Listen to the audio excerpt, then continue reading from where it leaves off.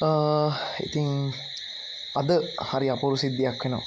ඒ තමයි කදුරුවෙල නගර අසන්නේ තමයි මේ සිද්ධිය සිද්ධ වෙන්නේ. ඔගලන දකින්න පුළුවන් මේ ගෑනු ළමයි දෙන්නේ අතෝ පාර හරහා වැටල තියෙන අතු අයින් කරන්ඩ උදව් වෙනවා වැස්සෙත් තෙමීගෙන පොඩි අර ගැම්මක් තියෙනව නේද?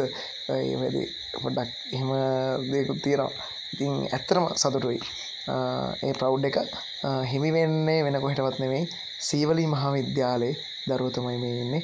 ඉතින් ඒ ආදරණීය සීවලී මහාවිද්‍යාලයේ දරුවන්ට අපි හදවතින් උත්තමාචාර පිළිගන්නනවා නැවතත් වීඩියෝ එක හොඳින් බලන්න.